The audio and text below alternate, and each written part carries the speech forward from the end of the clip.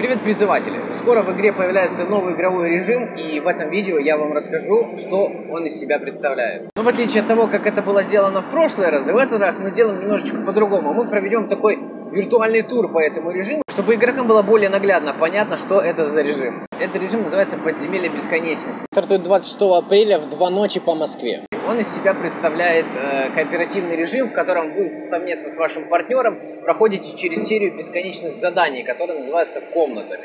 Мы с вами заходим в наше лобби, в котором мы должны выбрать э, себе команду и выбрать себе партнера.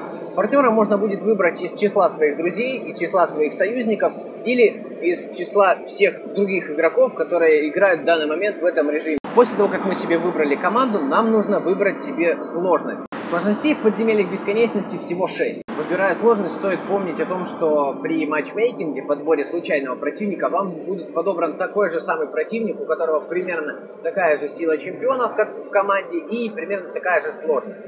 Важно отметить, что матчмейкинг не будет доступен с самого начала выхода события, а будет активен спустя примерно неделю. Разработчикам нужно время, чтобы понять, хорошо ли работает система. После того, как вы нашли партнера, вы можете сложность немножко отрегулировать. Разницы между ними конкретно особой нет, кроме того, что чем выше сложность, тем сложнее противники. У каждого из противников в шестой сложности будет по два усиления. Как только мы решили все организационные вопросы с поиском противника, выбором команды, и мы заходим в первую комнату. Комната из себя представляет задание, в котором находятся четыре дорожки, по две дорожки на каждого партнера.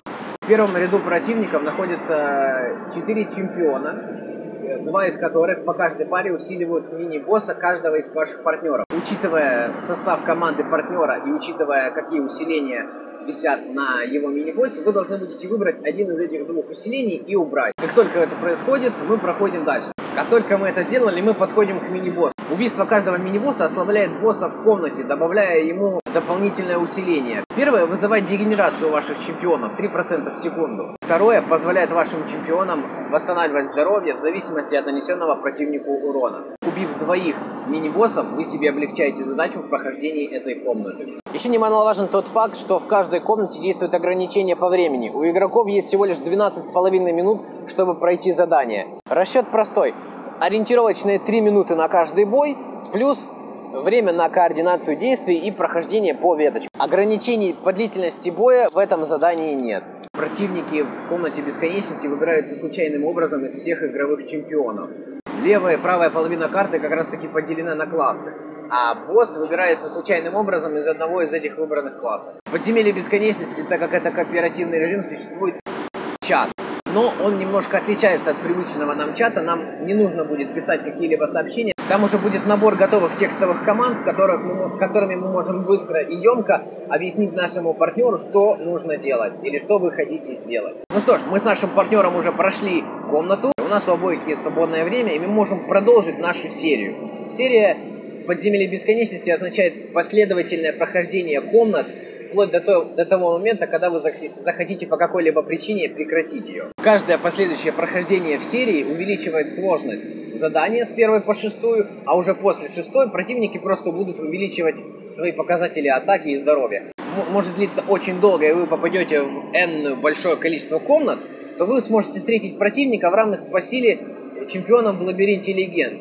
Но здесь есть один небольшой нюанс – чемпионы переходят из задания в задание с таким же самым состоянием, то есть с таким же количеством здоровья. Это же касается и постоянных зарядов, таких как у Morningstar, Мефисто, Модока и других. Но лечить ваших чемпионов вы можете с помощью специальных зелий, которые будут также доступны во время проведения этого задания. Мы проходим дальше, у нас предстоит выбор. Мы можем либо закончить эту сессию и получить определенное количество очков, либо продолжить и получить еще большее при ее завершении. Ну и, соответственно, мы также получаем эти очки при завершении каждой комнаты.